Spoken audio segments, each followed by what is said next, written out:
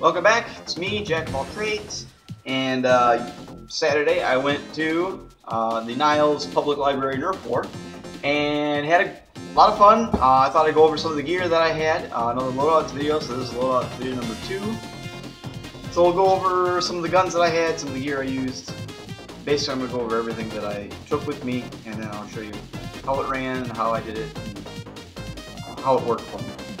So first gun we have is the Sledgefire. Uh, I got this from a friend uh, that attended another war, and uh, I didn't get to use this personally. I had a friend, a person there wanted to use it, so I let him use it.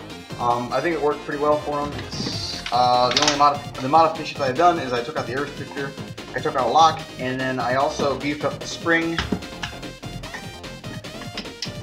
for these guys so they really fly now. Again, there we are. So that actually flies out pretty good.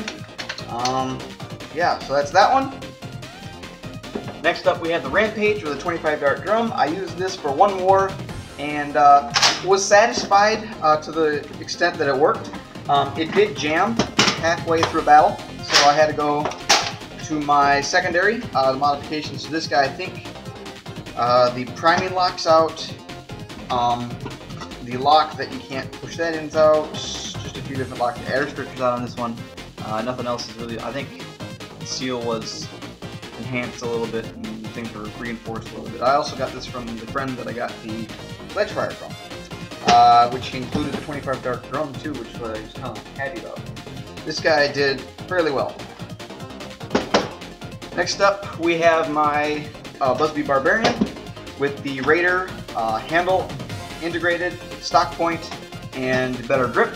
Uh, I used this for one war. I enjoyed playing with it. Uh, because it was so close quarters combat, you really couldn't refill the thing very quickly, uh, very easily, so I ran through about the whole cylinder and then I went to my secondary. Um, otherwise, it did good. Uh, a few people were impressed with this. Uh, Brando being one who said that he enjoyed the putty work, so thank you for that, Brando. Uh, and that'll be done for that. Pull that out, see everything else. So this guy worked great, just the way I had thought he to work. Next up we have my secondary, the Buzzbee Reaper. Uh, this one served me so well. Uh, usually through the war, when I go out on my primary gun, I'd go through all my ammo, I'd put that to the side, and I'd pick this guy up along with my leg holster that I have the extra mags with, and this guy served me beautifully. I will never, I don't think I'll ever use another secondary uh, sidearm that I have on my sling. Uh, this guy just worked beautifully. I love this gun. Next up we have my hammer shot with the stock attachment point and the 7 dart barrel. Uh, this guy pulled out a few times. I really couldn't uh, put down and pull out real quick. Um, I think I got maybe a kill or two with this one. I'm not quite sure. Uh, this guy served me well. Just put it in my right holster and um, worked fine. Everything was turning right. Uh, I never actually attach a stock. I never actually do. Because uh, we never actually played pistol rounds yet. Alright, so I don't know if I've ever actually shown this yet. Um, I have hinted to it maybe in a few different things. I sent a blowgun to Captain Xavier. If you want to see that video, I don't know where it's at. If I do find it, it'll be down in the description. Um, but this is my, this piece here is my 30 inch uh, Elite Fire In blowgun. And it has a perfect fit. So this has been my gun and my whole thing for about a year and a half now. I think I finally figured out how to do it. Um, and it's worked great. Oh, I love building these things. Um, I've sold a few of them. Uh, and I will be making soon, I will be making more of these, so if you ever see me at another Nerf war and you want one of these, ask me and I'll tell you everything that goes on with that. Uh, the stock, the pivot points have been 3D printed um, and screwed together. Uh, basically, it's a ratcheting system sort of thing. Basically, you loosen up, there's a screw in there, or a, a bolt, nut and bolt, you loosen that up, you can pull it out and you can turn it uh, a few degrees and then put it back down and tighten it. And that's how you get that nice angle. Um, as you can see, it's kind of filtered to the left, or you know, in my case, and so then it can go in my arm, and then this will come up to my mouth, uh, so I can blow. Uh, this thing worked okay. Um, I wish I would have taken my my red uh, waffle tip darts because those are about the only thing that's accurate enough for this blowgun because the darts that come out of this thing are fast and accurate and they go super far. I love blowguns. I've always loved blowguns. I am the blowgun guy. So I took my Nerf machetes. Uh, I let a few people use these. They always like putting them in their belts or whatever. I really don't care because they're pretty durable and I haven't had anything break yet. There's always nicks and scratches, but that always happens with foam weapons and I really don't care anymore. So um, all the paint is rubbed off the handle. Most just kind of see if peels off.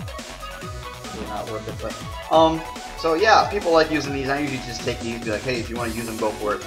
Uh, so these work, I think, pretty good for people. Um, I really don't know because I didn't see it too much. I didn't get tagged by them. Um, but yeah, always nice to just take these and let people use them.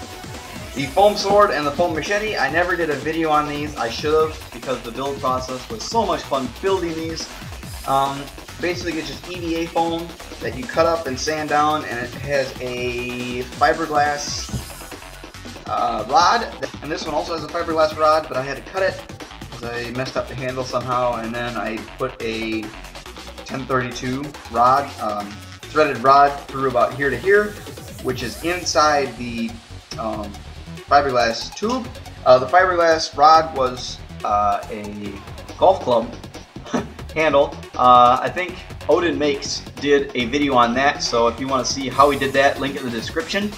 Um, yeah, so I didn't get to use these. The only time I ever use these, or would ever use these, I still haven't used them yet. I, nothing. I still not used these. I really want to.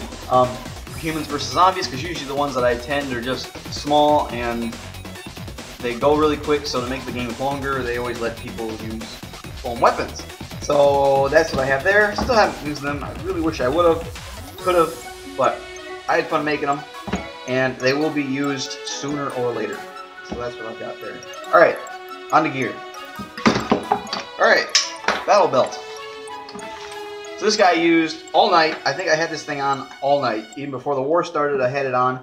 I didn't switch anything out. I just always had my hammer shot, my two clips on my left, or magazines, clip magazines, whatever you want to call them. Uh, stuffed in there. I had my hammer shot stuffed in there, clipped onto my legs.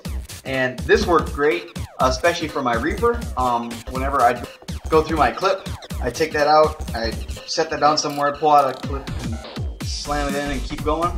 Um, definitely, it saved me a few times, this guy. Hammer shot, as I said before, I don't know if I really pulled it out too many times because I had two other guns on me usually. Um, so yeah, worked great, had fun with them. Uh, definitely keep using this. Oh man, I love this. I got that for like two bucks at. I always keep saying that, but I did, and it it just works. So, all right, all right. So these are all the clips I took. The Buzzbee or Air Warriors 20, uh, 418 dart clips, a 12 dart mag, and a 25 dart mag. Brought duct tape too.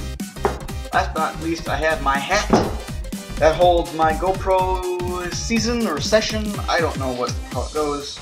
So that's the little guy there. Uh, I am very happy with this. I like it a lot. I don't know. I think they go for about $150 now. It records 1080 at 30 frames, no, 60 frames a second. So that's why I like using this one a lot. Um, I really like this. The video quality is great. It picks up sound like no tomorrow. Uh, basically what I did is I just, there's a sticky pad, so you stick it to the bill of the hat, and then I put a zip tie around it just so then it definitely wasn't coming off. And then that just slips in there, and you pop it down, you press the button, and it goes, and that's that yeah, that's it. Uh, don't forget to like, comment, and subscribe um, you watch this video.